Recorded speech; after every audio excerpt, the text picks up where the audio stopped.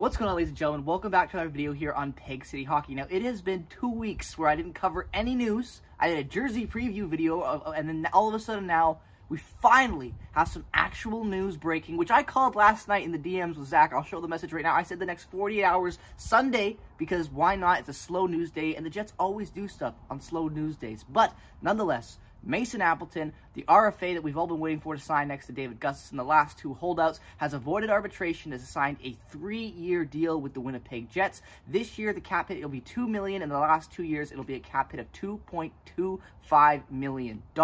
So, uh, I like this deal. I'm, I'm going to go right out there and say that. I like Mason Appleton. I like this deal for a lot of different reasons. The main reason is he's under $3 million, and that is huge. I thought personally, if I was the Jets, I'd be aiming for around 1.5, that's probably where Chevy was aiming to be realistic. With all the news of him missing out on other RFAs and offer sheets and other prospects and guys in that bottom six spot that we've been looking to fill, signing in other places, it makes perfect amount of sense that Chevy would want to go out and spend a little bit more money on a guy that he actually likes for the system, traded for reacquiring him back at the deadline uh, as well from Seattle because we lost him in the expansion draft, obviously. To go out and do all that, there was no way he was going to let this guy go to arbitration and have that bad relationship. So what does he do? He go, goes out there and he gets a really good deal for Appleton. Appleton gets three years to play with the Jets. Now, whether or not he'll be with the Jets, that's fully three years. I have no idea. But I like this for next year. He had a down year in Seattle where he didn't put up that many points. I'll even show his advanced stats for you guys right now. You guys can take a look.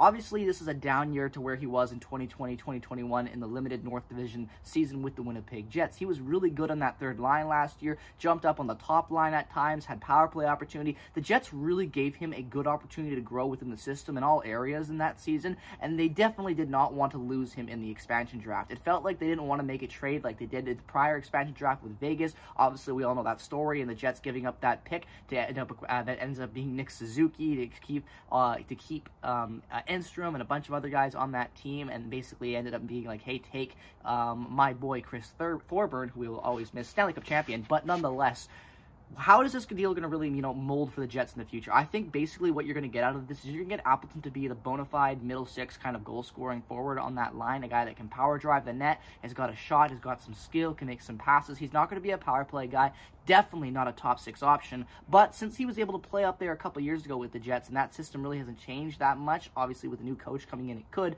But I think that Mason Appleton could be that role player type utility guy that could jump up into the top six at times. But when it comes into next season, I expect him to be playing on the third line with Adam Lowry, and really uh, hard to say. I I, I don't know. I would expect him to probably go with Adam Lowry, uh, Mason Appleton, and then really thinking about it, maybe Morgan Barron. I think that could be a really good third line uh, for you. Maybe Morgan Barron showed a ton of potential last year with the Jets. Had some really good goal scoring up there as well, some play driving. I think that that would be a really good third line with some good young players that could really jumpstart the bottom six for the Jets and get more points out of them. Obviously, we saw Adam Lowry last year have a lot more goals and be playing a lot more aggressively, and hopefully that style can mesh better with some younger guys that have more offensive prowess to their game. That would be really, really good for the bottom six. Because let's be real, a bottom six with Dominic Toninato is not going to get you a lot of goals, so you need to rebound and you need to acquire young talent that can score goals. And if Appleton can rebound to that 2020-2021 season where he had about 30 points and was really good in a limited season,